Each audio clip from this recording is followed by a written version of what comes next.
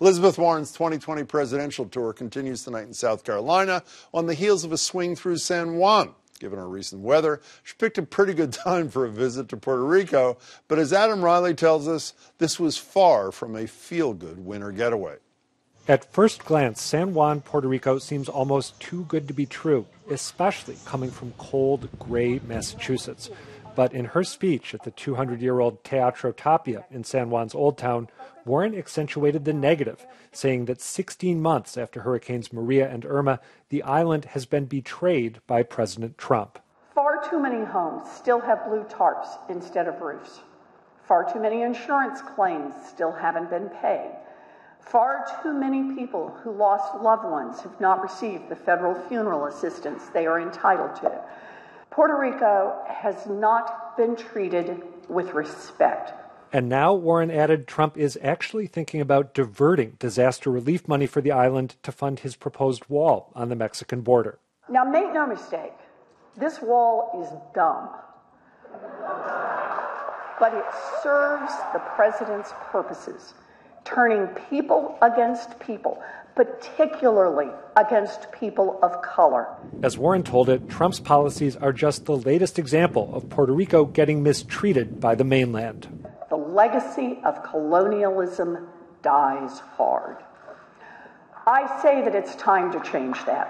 Her solution? A so called Marshall Plan for Puerto Rico and the Virgin Islands, a full audit of Puerto Rico's crippling $70 billion debt and letting the island determine its relationship with the U.S., a seeming endorsement of statehood or even independence. Now, anytime a candidate gets local on the campaign trail, they risk coming across like they're pandering, especially if they don't really know their stuff. But you could tell throughout Warren's speech that she actually has deep knowledge of issues that have animated Puerto Ricans for decades.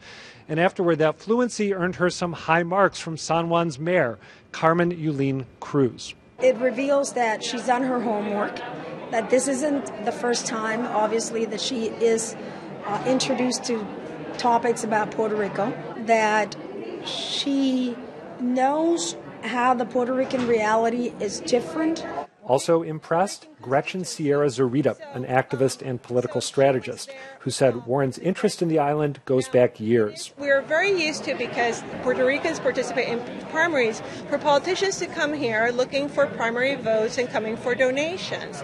Um, and we're very jaded and cynical about it because after they get that, they leave and they forget oftentimes. I think Elizabeth Warren has particular credibility because she was into Puerto Rico when there was nothing in it for her. Still, not everyone was dazzled. Maria Procaccino thought Warren spent too much time itemizing local grievances and not enough talking about how Democrats can win in 2020. She told a lot of the local people here what they already know. What are we going to do to change it? That said, the overall response was positive. And while Puerto Rico doesn't vote in the presidential election, this visit showcased Warren's interest in a certain set of Latino political issues, an important signal as her campaign takes shape.